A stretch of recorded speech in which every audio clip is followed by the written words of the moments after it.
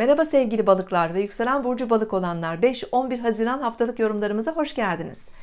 Sevgili balıklar Güneş ikizler burcunda ilerliyor. 4 Haziran'da sizin için de önemli olan Yay burcunda bir dolunay meydana geldi. Tabii ki bu haftanın ilk günleri bu dolunayın önemli etkileri devam edecek. Kariyerinizle ilgili iş konularında, aile büyükleri, ebeveynlerinizle ilgili alanlarda bazı dönüşümler içerisinde olabilirsiniz ya da bir konunun netleşmesi mümkün hayatınızda. E, yer değişimleri, taşınma gibi konularınız olabilir. Pazartesi öğle saatlerinden itibaren Ay Oğlak Burcu'na geçecek.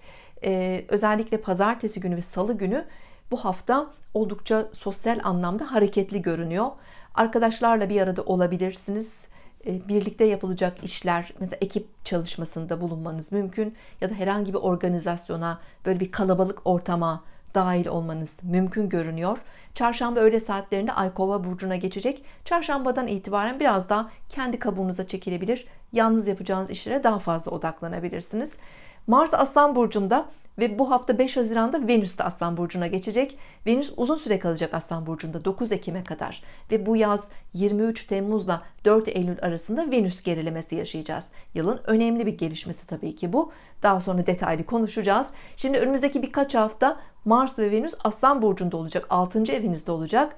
E, gerek çalışma ortamınızda gerek de yaşadığınız ortamlarda biraz daha enerjinizi bu alanlara yönlendireceğiniz bir dönem.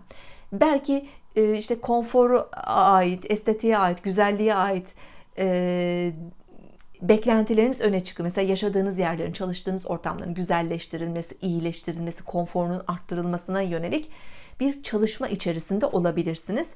Buralarda hem enerji harcıyorsunuz ama Venüs de burada bir iyileşme getiriyor. Belki size daha fazla imkan getirecek. Beraber çalıştığınız kişilerle ilişkiler çok öne çıkıyor. Tabii ki burada sosyalleşme imkanları olurken Venüs olan yerde biraz sevgi, flörtler, aşk ilişkileri olabilir.